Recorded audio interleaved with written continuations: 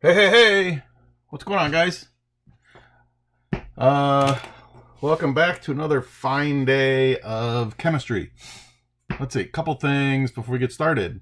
Um, I hope everyone's doing okay. I know it's kind of still a crazy time. Uh, everything here at the Hills, Hilt household is okay. Woke up this morning, took a look outside, and there was snow. Joy. Why do we live here, ladies and gents? Can't figure that out. Anyways, um, things are okay. Let's see, what have I been doing? Well, I've been uh, stuck inside, probably like the rest of you. Uh, yesterday, what did I do yesterday? Oh, I, was exciting yesterday. I actually had to go to the grocery store and I saw people. Okay, yes, I did wear my mask. Uh, let's see, what else did I do? Uh, school keeps me busy, takes me pretty much all morning to make you guys lectures and make my super class their lectures. So school is really busy for me too. Uh, I work, generally I'm up at 6 still, and I work till usually 1 or 2 in the afternoon just on school stuff. And then I answer emails all afternoon. So school's still busy for me, just like it is probably for most of you. Uh, what are exciting things have we done here in the household? Uh, Becky with a Q and Madeline finished a puzzle yesterday. Uh, let's see, what else have I been doing? Oh, uh, I've been playing the Zelda game on my Nintendo Switch. Uh, that's kind of fun. Mm. I ran on the treadmill yesterday. That was glorious. Mm. Yeah, other than that, just trying to stay healthy. You know, so things are okay. I hope things are. I think, I hope things are okay there. I know some of you are frustrated with all of this, but you know, we it's a crazy time and we have to deal with what we're dealing with. All right, so what's the plan of attack for today? Well, we're going to go over the challenge question that was uh, from the other day. Uh, then we're going to talk about indicators, and then we're going to talk about uh, molar concentration of some ions, and then eventually we're going to get into what's called titration. And I do have some demo things for you today, so we'll see how things go. So let's go ahead and start with the challenge question from the other day. Write a neutralization reaction between the between hypochlorous acid and strontium hydroxide. So we are talking about these neutralization reactions, or actually other reactions using table J also. But a neutralization reaction is a, a reaction between an acid and a base. And they always produce salt and water. So if you take an acid and drink it, it kills you. You take a base and you drink it, it can kill you. But if you put them together, they will neutralize each other and produce salt and water. Okay, so let's go ahead and do it. So we have to start with coming up with the formulas for our acid and our base. So let's start with our acid. Now don't get confused. This is not hydro, it's hypo. Hydro tells you that it's binary. This is not binary. This is a polyatomic ion. Okay, so we're going to have to use that little trick. 8 goes to ik, and ite goes to us. 8 goes to ik, ite goes to us. 8 goes to ik, ite goes to us. Well, this is an us. So this must have been an ite. So if we go to table E, we need to find something called hypochlorite. And here it is. Okay it's ClO minus. So how do I make ClO minus an acid? Well, we crisscross it with hydrogen. This is a polyatomic. It goes in parentheses. So this one comes over here, and this one comes over here. And the formula for my acid is HClO. So there's my acid formula. All right, now we have to do strontium hydroxide. Well, it's an ionic. So we crisscross SR, which is plus 2 because it's in group 2. Hydroxide's a polyatomic. We have to put it in parentheses. This 2 comes over here. This one comes over here. We get SrOH2. Now, in reality, neutralization reactions are just double replacement reactions. This is just double replacement. Positive at first goes to the negative of the second. Positive of the second goes to the negative of the first. So to come up with my products, okay, we crisscross. So I have to crisscross hydrogen, which is plus 1, and hydroxide, which is minus 1. This comes over here, this comes over here, and we get HOH, which is what? That's my water. Could I have written H2O? Sure. I like this formula better because you can see the polyatomic ion in it. But the other one's fine too. So if you wanted to write H2O, you could have. Now, we have to come up with the salt. So now we're going to crisscross Sr plus 2 with ClO minus 1. It's a polyatomic. It goes in parentheses. This comes over here. This comes over here. And we get Sr parentheses ClO parentheses 2. Now we need to balance. Let's see. I think we need a 2 here and a 2 here. And I think that would balance it. So this would be my neutralization reaction. This is my water. This is my salt. Now, there's one more thing I want to remind you of before we move on. I want to look at this salt again, because this is important. Where does the cation come from? Okay. The cation of the salt always comes from the base. Where does the anion always come from? Well, here it is. It always comes from the acid. We did a problem like this, but make sure that you can work backwards. Okay. If I give you the salt, you should be able to come up with the acid and base that reacted to come up with it. Good. All right, well, let's go on to acid-base indicators.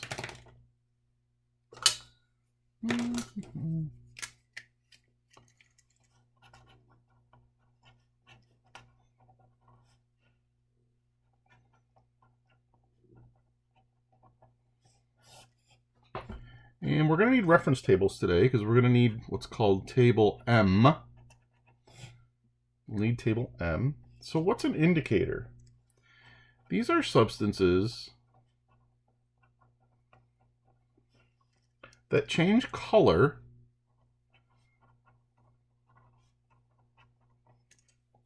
in different pHs.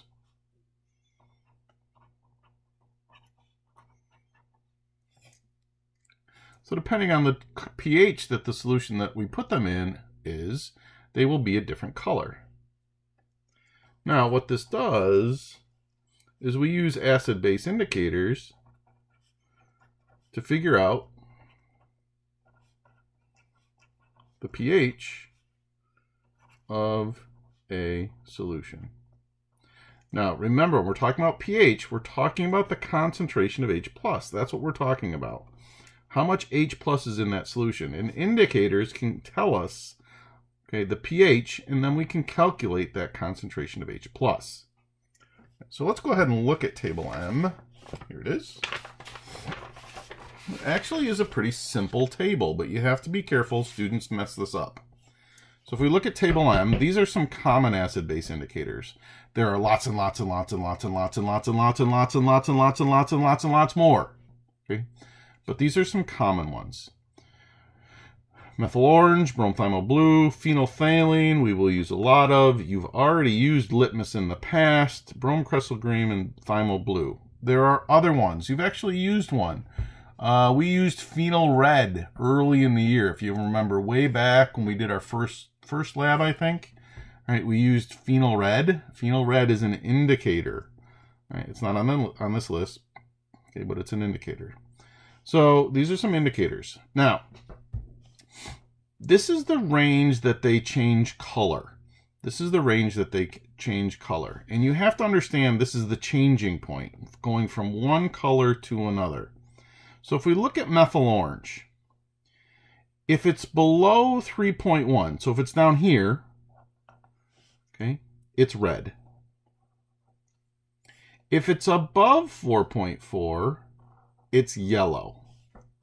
Below it's red, above it's yellow. During this 3.1 to 4.4 range, in between in this pH range, this one's a special one.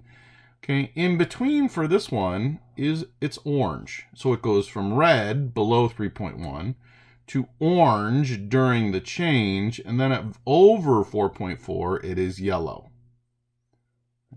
Okay, so let's look at the next one. Bromothymol blue. Bromothymol blue, if you put it in a solution, and the solution's pH is below 6, it's going to be yellow. If it's above 7.6, it's going to be blue. We do not know what it's going to do between 6.0 and 7.6. We know below is 6.0, or excuse me, below 6.0 is yellow. Above 7.6, it's blue. Uh, we really, we have no idea what's going to happen here. Phenolphthalein, and I'm going to show you this one in a minute. Below 8, it's colorless. Above 9, it's pink. Above 9, it's pink. Litmus paper, and you use this. You've used red and blue litmus paper. All right, so if it's below 4.5, red paper stays red, blue paper turns red. If it's above 8.3, red paper turns blue and blue paper stays blue. During the change, okay, between 4.5 and 8.3, red will stay red and blue will stay blue. Okay, so that'll give you what will happen here. So th that's how this table works. And you just have to be careful with it. Okay, you just have to be careful with it. So let me go ahead and show you some. Hmm, let's see, how am I going to do this? Put this over here.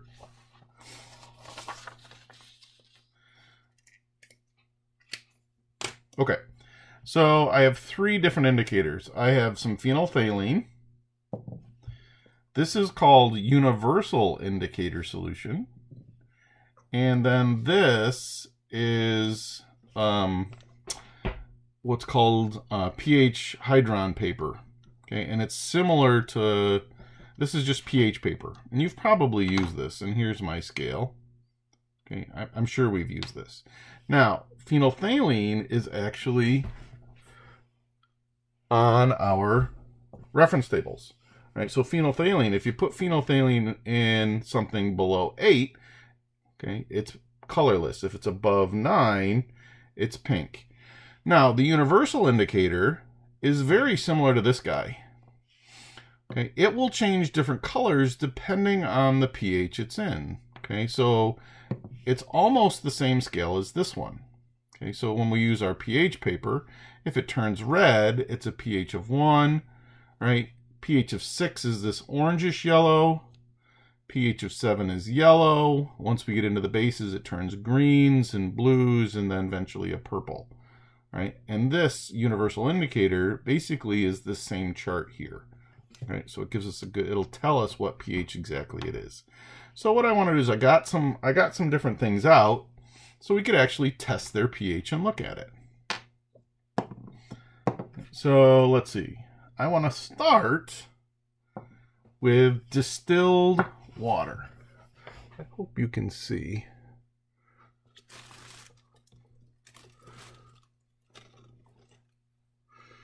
Uh, okay. So distilled water. This is pure water. Okay. Uh, let's see. What should we test it with? Well, let's start with let's start with my pH paper.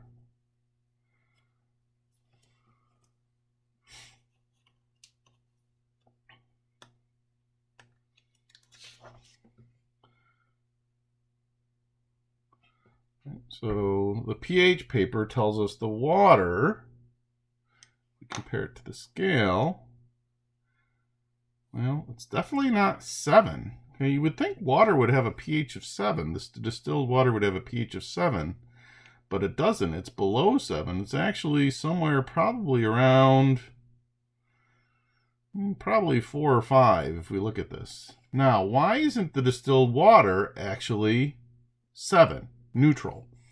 And the reason being is that carbon dioxide from the air will dissolve into that water. And when carbon dioxide dissolves into the water, it forms carbonic acid naturally. So any water, unless we've just distilled it, any water is going to have some carbon dioxide in it, and it's going to be a little bit acidic. Okay. So water is a little acidic. Now, let's put some phenolphthalein in here. What color should it be? Well, if we look at table M, if it's below 8, it should stay colorless. So let's see what it does. And you only need a couple drops. And it does. Okay, so that works. All right, Let's try, let's see, I, I went upstairs and I got some vinegar. So this is vinegar. All right, vinegar has acetic acid in it. Okay, it's an acid. Uh, let's start with this again. See what our pH paper says. So our pH paper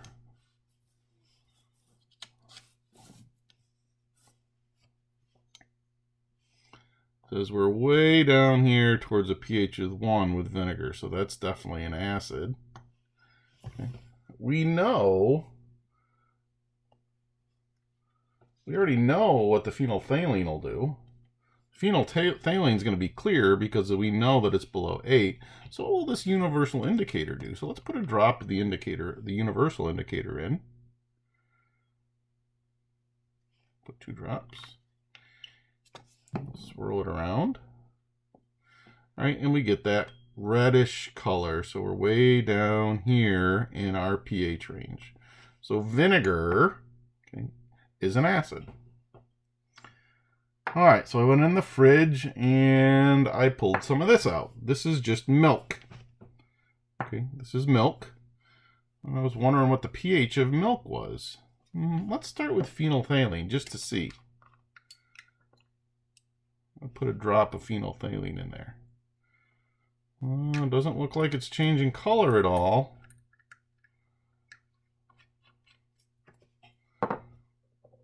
it doesn't look like it's changing color. It's still clear in there, so that means it's got to be below 8. I wonder what my pH paper is going to say. Let's put my pH paper in here.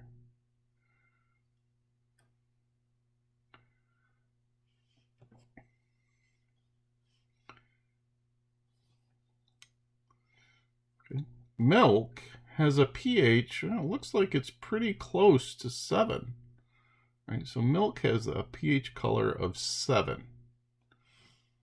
Okay, which is neutral.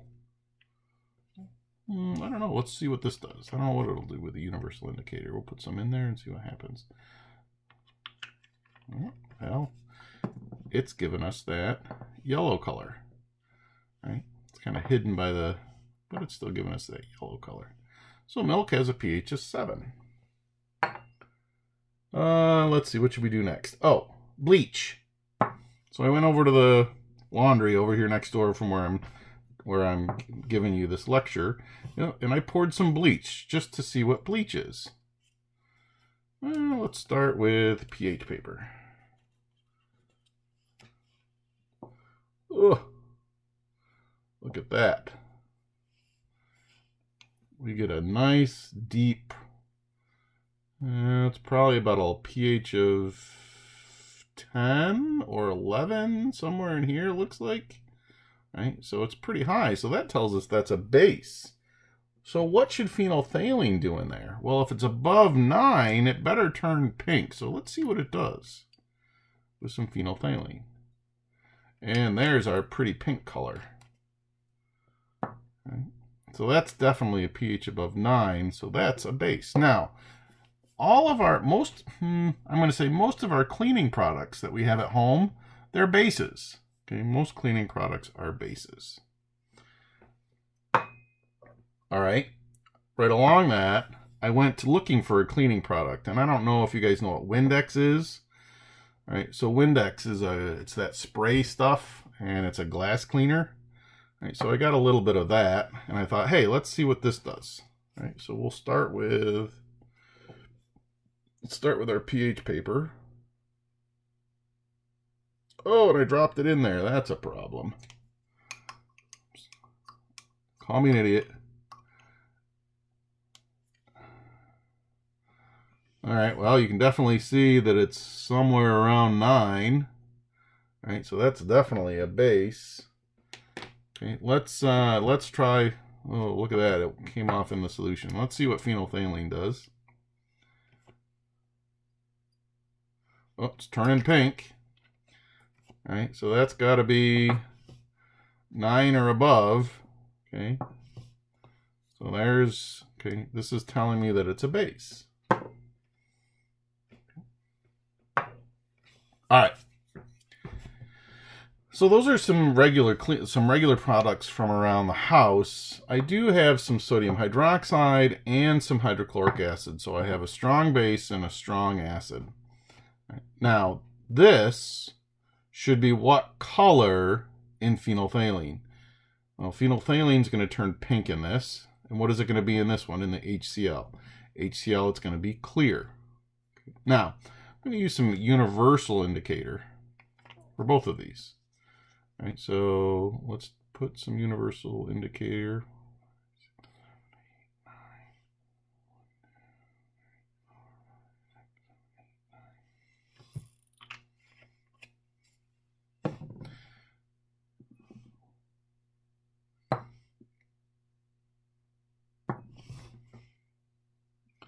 All right. So here's my NaOH. This is my HCl. So if we look at my HCl, right, it's probably right down near 1. Maybe between 1 and 2. And then this one is way up here around a pH of 12. Okay.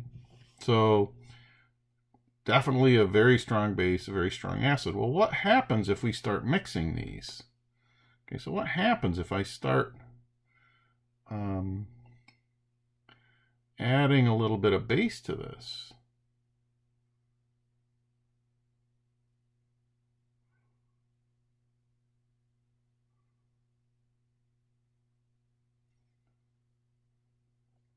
So the base is reacting with the acid.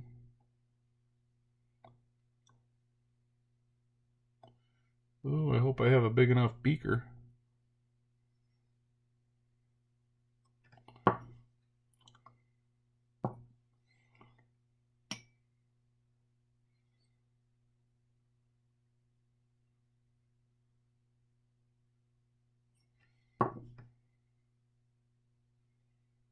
So my pH is still really low.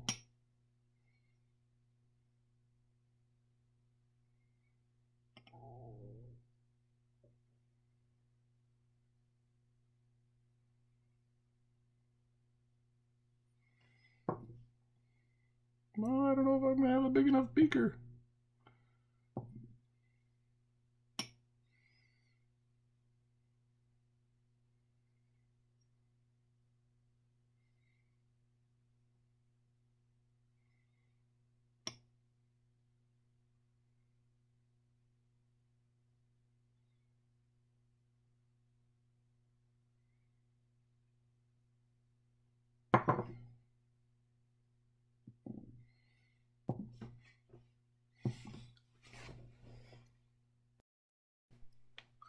I went and got another beaker. I'm going to pour this in here.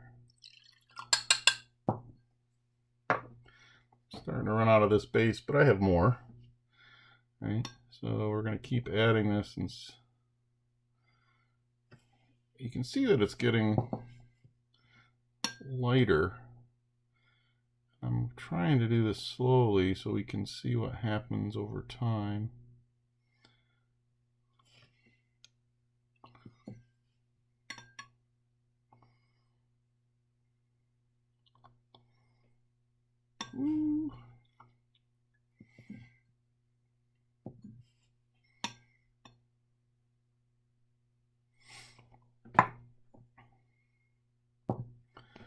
So now this is still NaOH, so I'm going to start with this dropper bottle because I want to be more precise. So let's go ahead and add this but drop by drop. Let's see what happens to our color.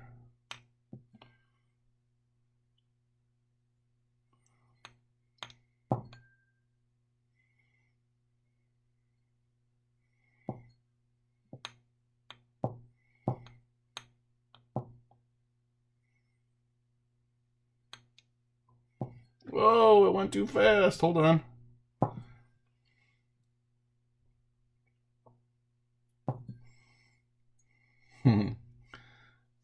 so it went to that green color just for fun. Oh, look here. It's, it's settling down in yellow. So we've gone from way down here. So now we're somewhere probably right around neutral now. Maybe a little towards 8. So we've reacted all of that H plus and OH minus, and it went to neutral, but then it went to 8. So I'm going to add a little bit, a little bit more. I'm going to add another drop just to see what happens. Ooh. All right, now we're in blue. Okay, so now we're in that blue color, so we have more OH minus than H plus. Let's add one more drop of NaOH. So the amount of OH minus is increasing, the H plus is decreasing, and then we get up here towards purple. Now, what, what's going to happen to this solution's pH if I add acid back? And this is hydrochloric again. All right, so I'm adding H pluses in again.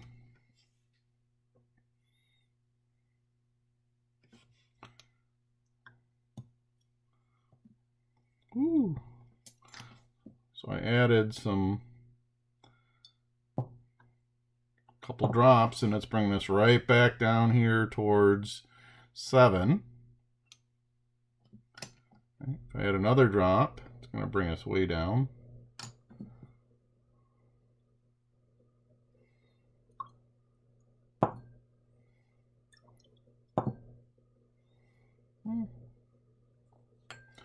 Still near 7, so that's probably it's probably got equal amounts of H plus and OH minus in it right now.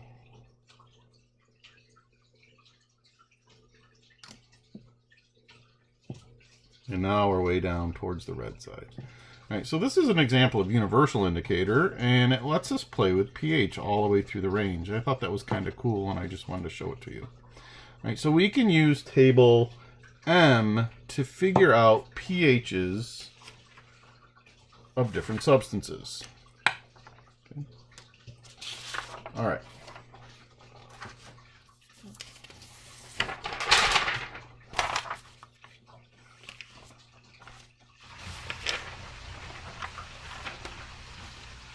Now there are a couple substances that I want to quick run through that don't uh, don't look like acids or bases, but are.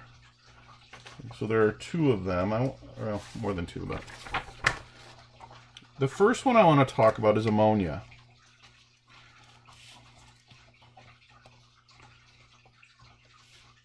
Ammonia, which is NH3, is a base. And it's what's called a weak base, but it's a base, which means it produces OH minus. Now it doesn't look like it produces OH minus, but it does. It does it in a weird way. When we take NH3 and put it in water, what happens is it steals one of the H's. Okay? It steals one of the H's and it produces NH4 plus aqueous. But what's left? An OH minus. Right, so it's doing it in a weird way. It is producing OH minus, which makes it a base.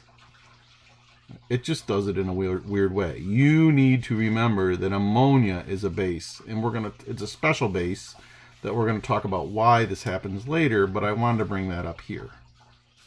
Now the other one, other ones I should talk about are organic acids, and I know we haven't talked about organic chemistry yet.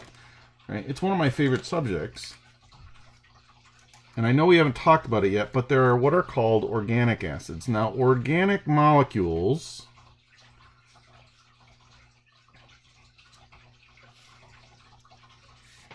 are molecules with carbon atoms.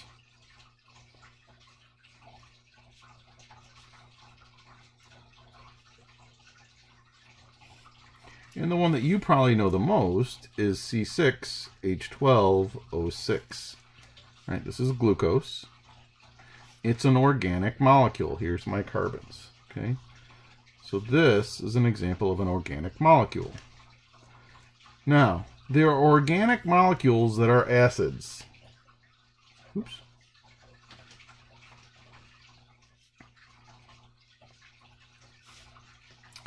These are organic molecules that produce H pluses in solution. So they produce these H pluses, so it's an acid. So now you're going to see them in a couple different ways. So you're going to see this one, HC2H3O2. Here's all my carbons, so this is an organic. Right? This is an example of an organic acid. If you see H's in front of an or uh, something like this, this is an acetate ion. Okay, that H is going to come off and it will produce H plus and C2H3O2 minus. Right? So this is an acid. Now there's another way to write this acid. We can write it this way. CH3 COOH. These two things are the same things and when we get into organic, we'll talk about why. Right? If you see an organic compound, why is it organic? It has carbons in it. But if you ever see COOH, C-O-O-H, that tells us that it's an organic acid. And it will produce H plus in solution. Right, so if you see COOH, right, if you see COOH, it's an organic acid. Right, so now there's lots of them. We could do uh, C2H5COOH. That's another organic acid. How do you know it's an organic acid? Cuckoo! Right? So, I just, you just need to recognize organic acids as acids, and they produce H+. plus. Now, in our organic acid, this is the H that comes off right here on the end. Right? So in our organics or in our COOH, this end H comes off, and that's what produces our H+. plus. All right.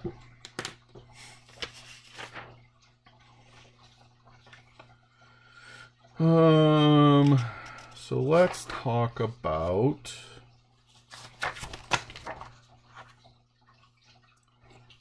molar ion concentration of acids and bases.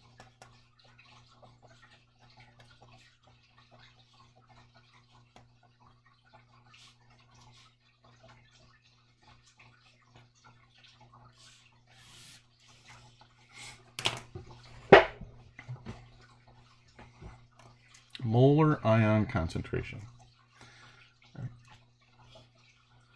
So let's look at HCl. If I take HCl solid and I put it in water, this is going to break up and it's going to produce H plus aqueous and Cl minus aqueous.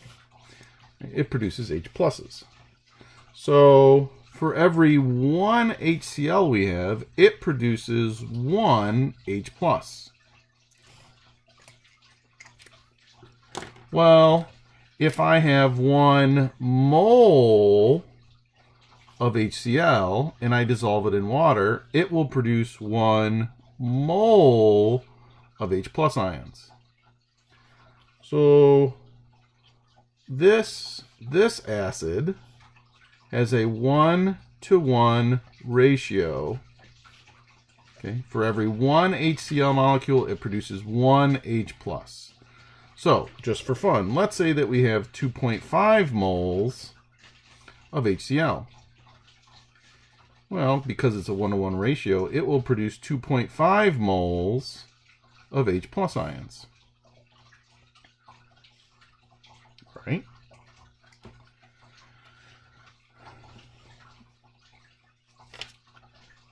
This is called a monoprotic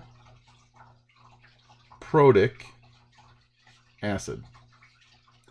It's called a monoprotic acid.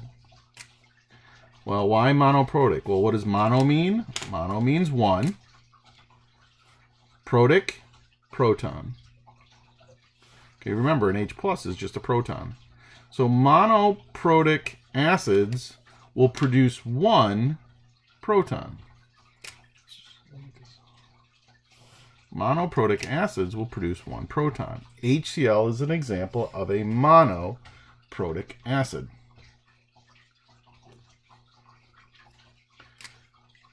Another example of a monoprotic acid would be uh, HBr. HBr is a monoprotic. It will break into an H plus and a Br minus. Right? So for every one of these, we get one of these. All right, let's look at NaOH. If I take NaOH solid, it will dissolve and it will break into ions and we'll get an Na plus and an OH minus. For every one NaOH molecule, we get one OH minus ion. So for every one mole of NaOH, we get one mole of OH minus. Again, we have this one-to-one -one ratio. We have a one-to-one ratio. This is called a monohydroxy base. A monohydroxy base. Why mono? 1 hydroxy OH minus. So let's say that I have, I don't know, 4.67 moles of NaOH. How many moles of OH minus ions will I get? Well, it's a one-to-one -one ratio. I would get 4.67 moles of OH minus. Uh, another monohydroxy base would be ammonia, NH3. Now remember, we just did this one.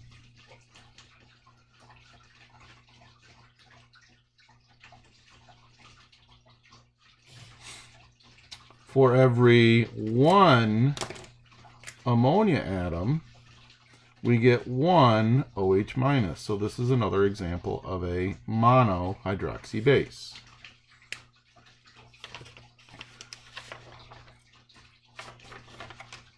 All right. Let's talk about something called a diprotic acid. Well, let's break it apart. Di means two. Protic means protons. So these are acids that produce two protons in a solution.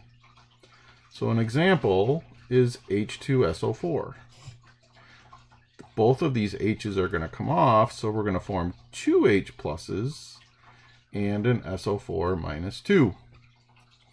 So in this case, for every one H2SO4, we get two H pluses. These always have a 1 to 2 ratio. They have a 1 to 2 ratio. So if I have, let's say that I have 3.5 moles of H2SO4, how many moles of H plus would I get? Well, I would get twice that because it's a set 1 to 2 ratio. So I would get 7 moles of H plus ions. All right. Well, we have dihydroxy bases also.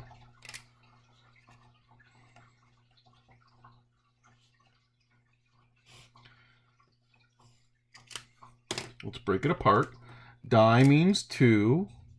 Hydroxy means OH minus. So these produce two hydroxide ions.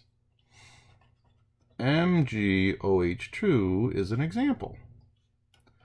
it will produce an Mg plus 2 and two OH minuses. Again, this has that 1 to 2 ratio. Another one, calcium hydroxide, CaOH2. That's dihydroxy. It's got two OH minuses.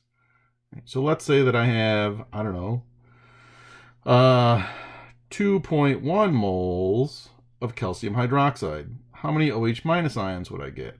Well, I would get twice that, so I would get 4.2 moles of OH minus.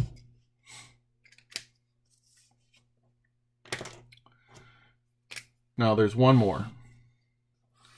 And there aren't many of these. So we talked about monoprotic and monohydroxy, diprotic, dihydroxy. What do you think's next? Triprotic acids and trihydroxy bases.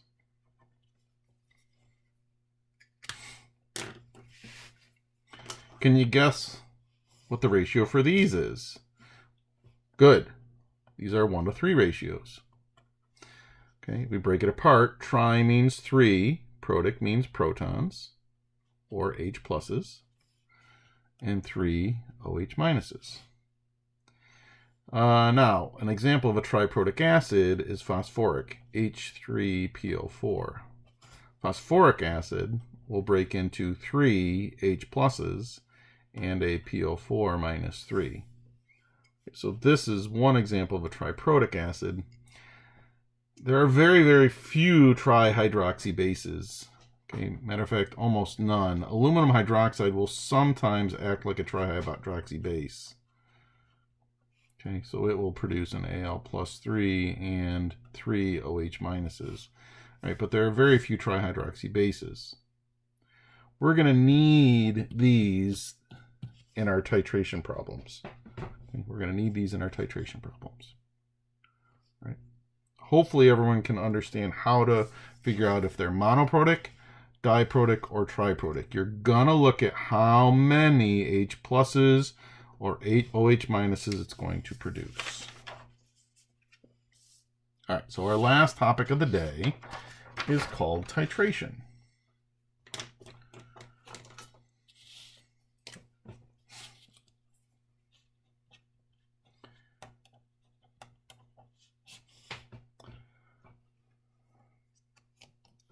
And a titration is the process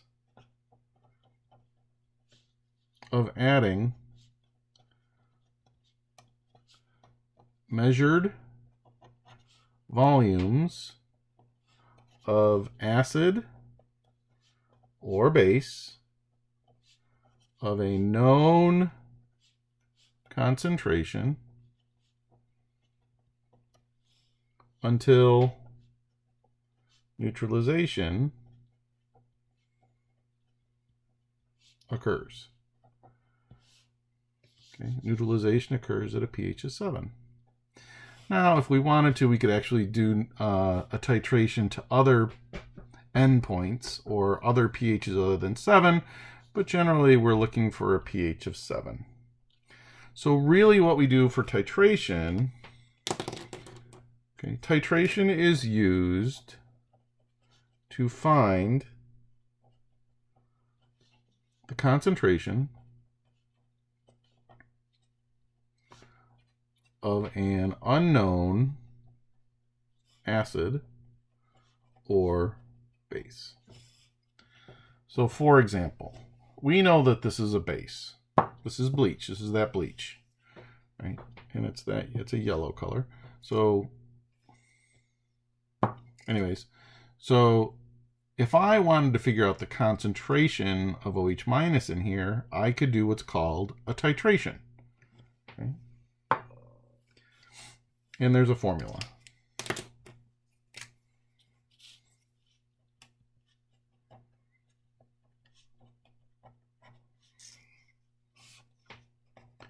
M A V A I C A equals M B V B I C B.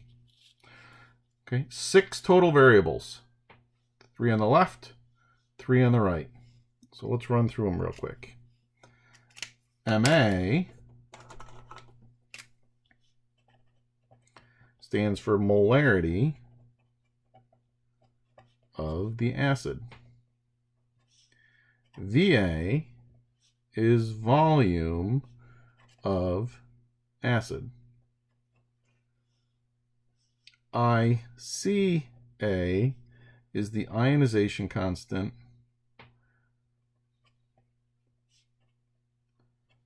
of the acid. And we'll talk about how to come up with that. You already know how to do it. MB is the molarity of the base. VB is volume of base. And ICB is my ionization constant of the base. And again, you already know how to do that. You don't know it, but you do. All right, so we got molarity of the acid, volume of the acid, ionization constant of the acid, molarity of the base, volume of the base, and the ionization constant of the base. MAVAICA equals MBVBICB. Now, let's talk about the ionization constant.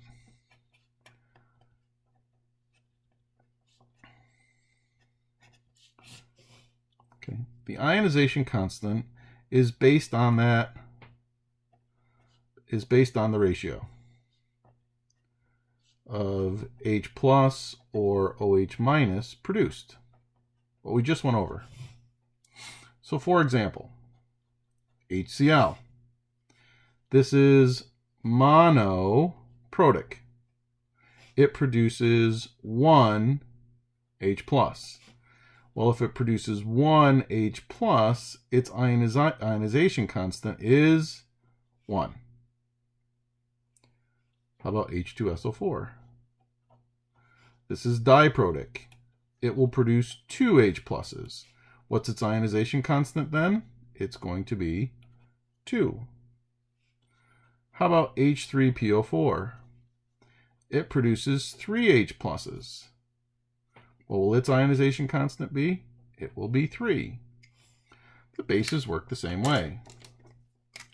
Uh, how about LiOH? That's a base. It's monohydroxy. Okay, it only has one OH, so it produces one OH minus. So what's its ionization constant? It would be 1. How about NaOH? It's monohydroxy. It produces one OH minus. Okay, its ionization constant would be 1. How about uh, strontium hydroxide, SrOH2?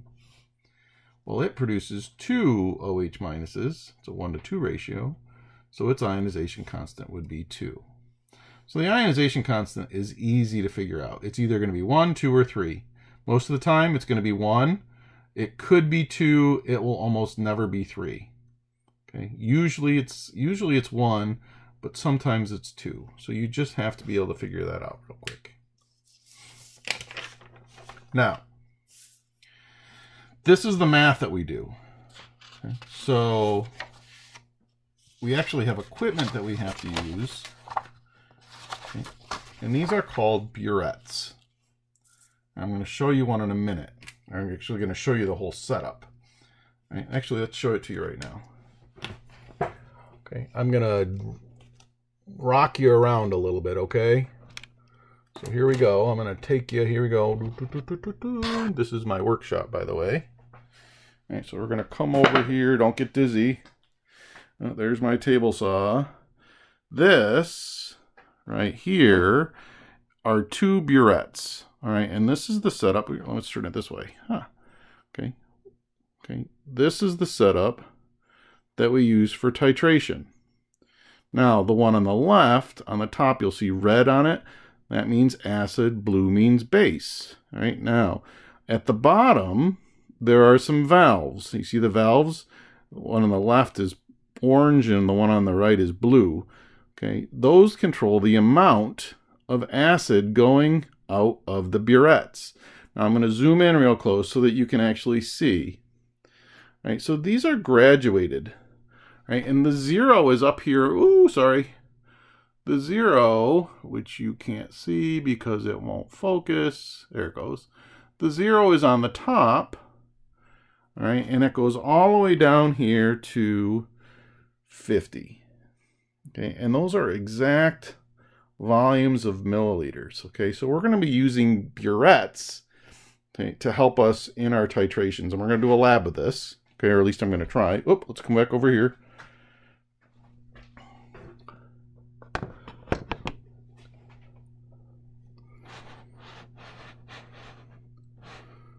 Okay. All right. So now, let's say that I have a solution of HCl and I don't know its concentration. I don't know its concentration. I want to figure out its, its concentration. The one that we don't know is called the analyte. Okay, the analyte. So I'm I'm going to do a titration to figure out the concentration of the HCl. So I take the HCl and I pour it into my burette. So here's my acid. This is my HCl. So I pour it in here and I draw it all the way up to 50 milliliters.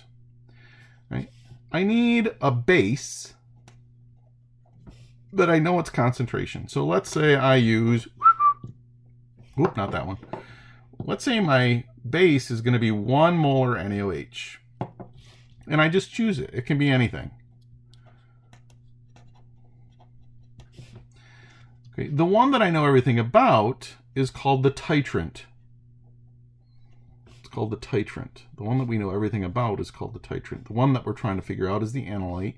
The one we're trying to figure out is the titrant. So we're going to take my titrant, the one that I know, and put it, put it over here, NaOH.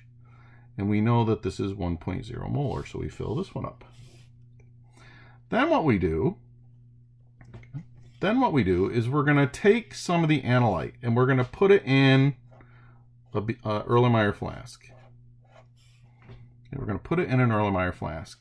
And we're going to put a specific amount in here.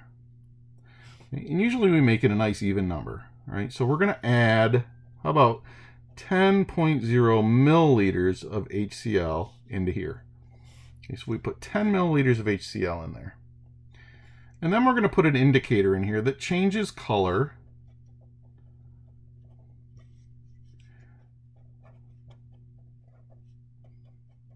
around 7.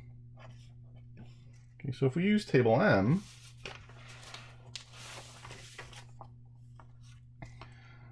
Okay, probably a good one would be bromothymol blue because it changes between 6 and 7.6, right? Uh, we often use phenolphthalein. I know it's a little high, all right, but we often use phenolphthalein in titrations too. So we put so we put an indicator in here that changes around 7. So if we put the bromothymol blue in there right now, it would be yellow color.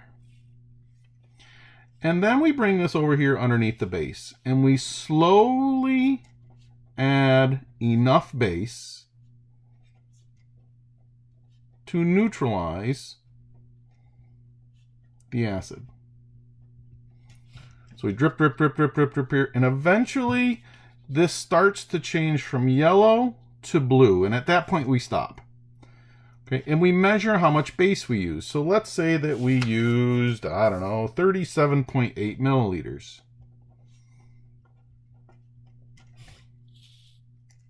Of the NaOH.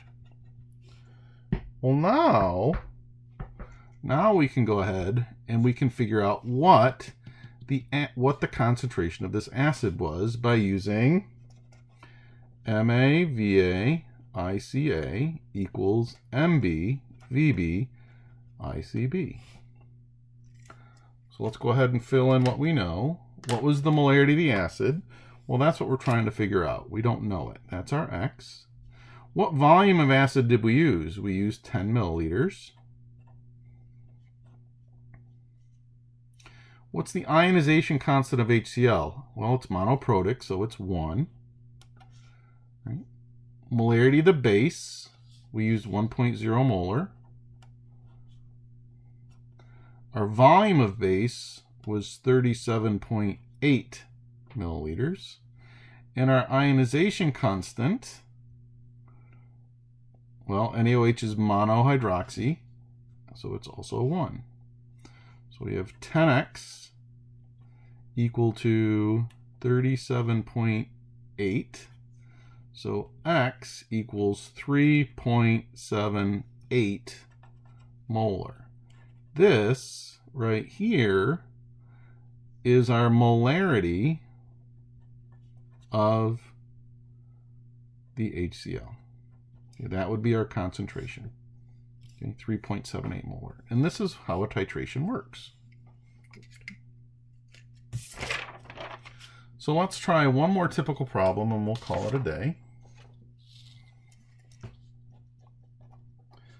How many milliliters of 5.0 molar calcium hydroxide are needed to neutralize 63.0 milliliters of 2.0 molar HBr. Okay. So this is a titration problem. We're neutralizing an acid and a base. So we're going to add um, we're going to neutralize these together. So we're going to use MAVAICA equals MBVBICB. So let's fill in. Ma is the molarity of our acid. There's our acid, HBr. So it's 2.0 molar. The volume of our acid is 63.0 milliliters. Right now, what's the ionization constant of HBr? Is it mono, di, or tri? It's mono. So that means it's 1. Okay. Molarity of our acid we know. 5.0 molar. We want to know how much of this we need to neutralize this. So that's my X. And then what's my ionization constant? Well, this is a dihydroxy base, so it's a 2. All right, so this is let's see, do this 126 equals 10x. So x equals 12.6 milliliters. So I would need 12.6 milliliters of the calcium hydroxide to neutralize that acid. Okay, and that's just a typical problem. All right, that's where we're going to end for today. All right, uh, and I will see you next class.